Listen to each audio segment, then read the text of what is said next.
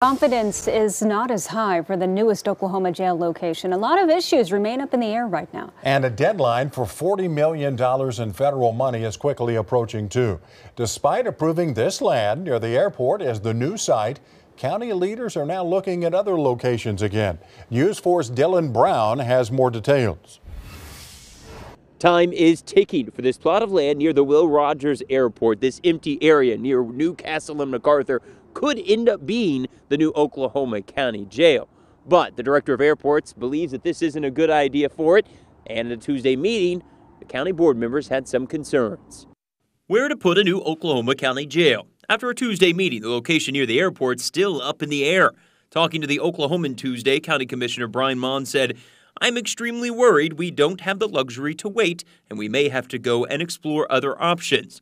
A couple of still potential locations talked about Tuesday. This one near 1900 East Grand, and then near I 35 and Northeast 10th. There's this proposed location, 89 acres.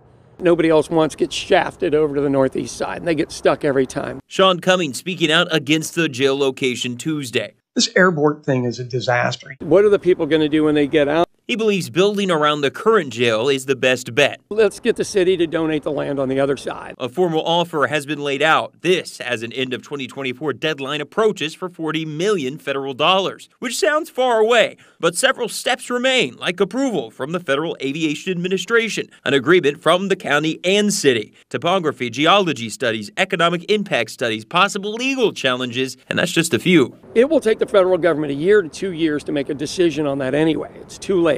It's not enough. As the search continues, issues in the current jail continue too. Dylan Brown, Oklahoma's News 4. All right, Dylan, thank you. For the county to get the $40 million from the federal government, they also have to build a mental health center. Maughan also told the Oklahoman this may take longer than we can spare.